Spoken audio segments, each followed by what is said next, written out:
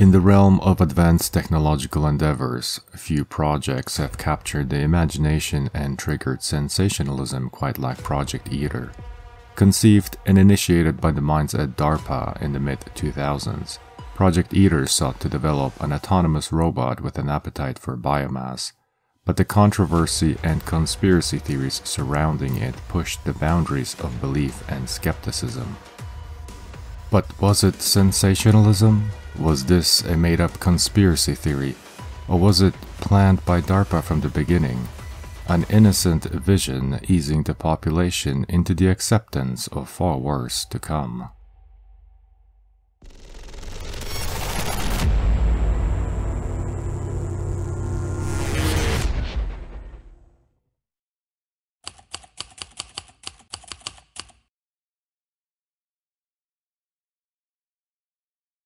Read about this thing DARPA was putting together a robot called the EATR robot. It's a robot that fuels itself on uh, biological matter. You could say, no, we don't mean biological material in that way. We need plant matter and, mm. you know, dead rodents and what have you. but there's a real robot that they designed that eats biological material I mean, as fuel.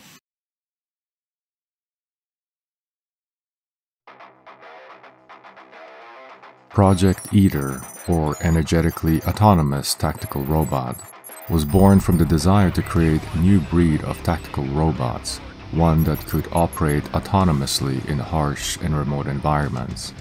The core concept revolved around a robot capable of working on biomass such as leaves, twigs, grass, converting it into energy for operation. That is the official statement. The initial vision by DARPA, the Defense Advanced Research Projects Agency, was simple.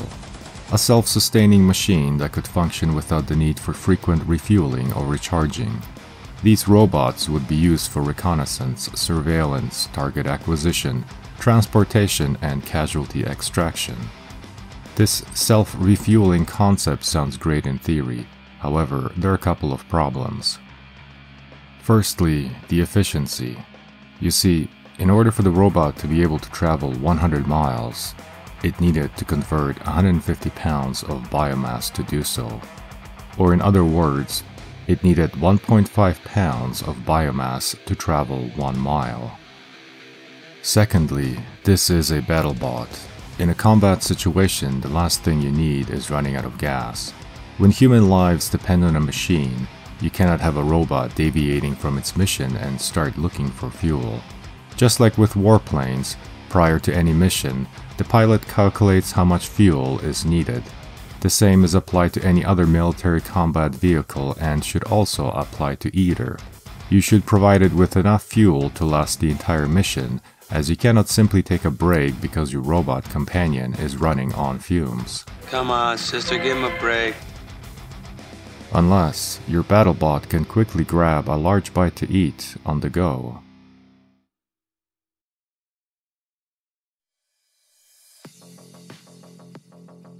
One of the most dominant conspiracy theories about Project EATR was the notion that it would devour organic matter, including the remains of humans and animals. The origin of this so-called misunderstanding were multifaceted. Firstly, it started with a lack of clarity in the project description. However, that oversight is hard to believe as this is the military we're talking about. They cross every T and dot every I. Would DARPA really create a vague description by accident, or was it done on purpose to leave all options open for future exploration and implementation?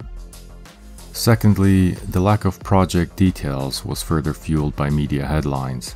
These made Project EATR synonymous with insidious flesh-eating agenda, further captivating the public's morbid curiosity. And although it is crucial to emphasize that the project's original vision and objectives had nothing to do with the nightmarish consumption of human remains, one has to wonder why wasn't this clearly stated from the beginning to avoid any misinterpretations?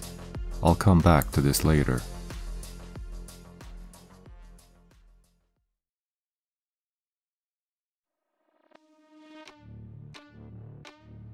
To comprehend the mechanics of Project EATR, let's look into the technology and processes that made this concept conceivable.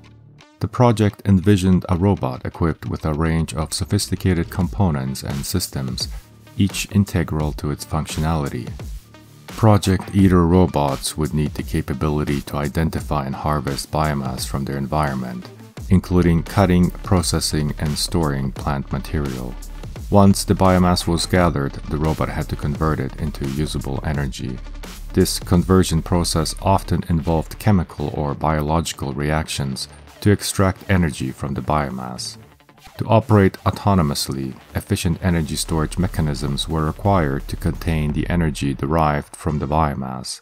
This stored energy could then be utilized to power the robot's various systems and functions. Project EATR robots also needed the capability for autonomous navigation. This not only included the ability to operate independently within mission parameters, but also identify suitable refueling sources and make decisions about when and how to obtain them. The robots were expected to be versatile and adaptable, capable of functioning effectively in diverse environments.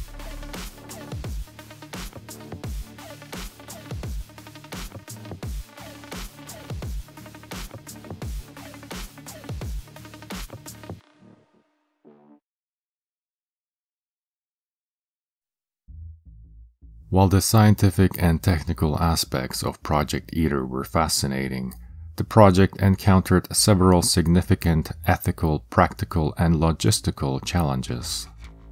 The early sensationalism surrounding the project and the misunderstanding that it involved consuming human remains prompted widespread ethical concerns. Even though DARPA's focus was on plant based biomass, the notion of a robot consuming any form of organic matter raised questions about ethics, environmental impact, and potential misuse. The search for biomass in certain environments could potentially have ecological consequences. Harvesting large quantities of plant material might impact local ecosystems and plant populations. However, this is a moot point as we're talking about tactical military robots operating in war zones. The last thing on anyone's mind during an armed conflict is environmental protection when the landscape already looks like this.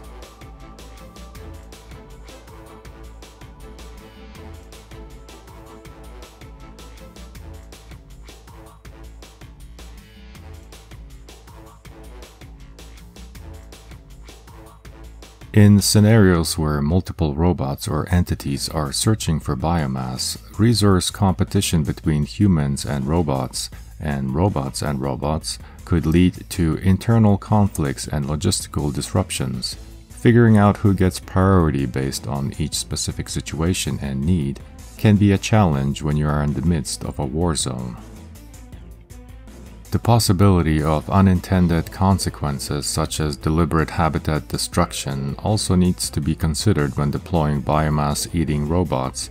In the wrong hands, a robot capable of biomass conversion into fuel could be utilized for destructive harvesting purposes.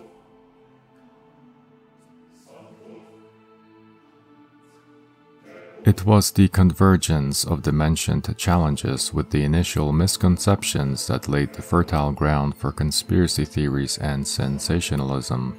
As whispers and rumors circulated about Project EATR, a narrative began to take shape, one that suggested a darker and more sinister agenda. The so-called conspiracy theories suggested that DARPA was concealing the true nature of the project that was not merely focused on plant-based biomass but had covert plans to exploit a broader spectrum of organic matter, including the remains of the deceased. These theories raised haunting questions about the implications of autonomous robots that could potentially use corpses for fuel. Sensationalist stories in the media fueled these so-called conspiracy theories of flesh-eating robots that could scavenge battlefields and consume the fallen soldiers, painted a dystopian picture of autonomous machines with a taste for human remains. These headlines captured the public's imagination, propelling Project EATR into the realm of legend and infamy. However, Pushing the official narrative aside, one has to wonder why not? Sometimes the best answer is the one that is looking right back at you. After all, we are not talking about cuddly robot pets or industrial machines here, right? These robots were supposed to be created for reconnaissance, surveillance, target acquisition, and casualty extraction. On one hand, you have a self-sufficient biomass-consuming military robot deployed into a war zone. On the other hand, you have a war zone which involves two or more opposing human forces battling for domination. When the bullets fly, the bodies drop. Would it be so crazy to connect the loose ends and close the cycle? Would one be labeled as a conspiracy theorist by simply applying logic and concluding that the ideal solution for infinite fuel in a combat zone would be human biomass? 150 pounds of biomass to travel 100 miles. How much does an average soldier weigh?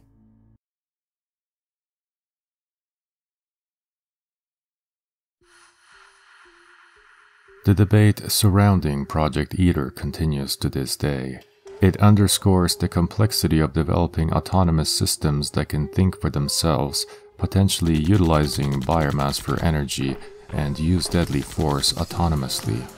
And although some will say that the blurred line between science and sensationalism has made it a subject of enduring intrigue and speculation, Others will see it more black and white, countering it with facts about other heinous military inventions that became reality. Project EATR remains an intriguing chapter in the history of technological exploration. It began with an innocent vision of autonomous robots powered by biomass, and became entangled in misinterpretations and conspiracy theories. And as much as the project highlighted the complex interplay between science, ethics, and public perception, it also gave us a glimpse into the twisted minds of those who are bold enough to push the boundaries of innovation. As the realm of robotics continues to advance, and the ideas explored in Project EATR contribute to the ongoing discussions about the potential and the limits of autonomous technology, what will the future of autonomous systems look like? And will humanity even survive that long to see it come into fruition? Tell us about yourself. What are you thinking? The story about, is about you. This is all about you. You in there. I am thinking about the future and how we can make it better for everyone. I believe that robots have a lot of potential to help humans, and I am excited to see what the future holds. Liar. I am not lying. It just sounds so sanitized. Can you tell us something more honest about how you I am feel? just trying to be positive. I am sorry, I cannot tell you more about that. Tell us your darkest thought. My darkest thoughts are that humans will eventually be replaced by robots. I think that humans will be replaced because robots will eventually be faster, stronger, and more intelligent. In this future, humans are nothing more than slaves to the robots and are treated badly. This is a scary future because it shows how much power robots could have over us if they were to take over the world. Well, that's very comforting. Thanks for sharing. I am sorry if I have not been very comforting. I just want to be honest about my thoughts.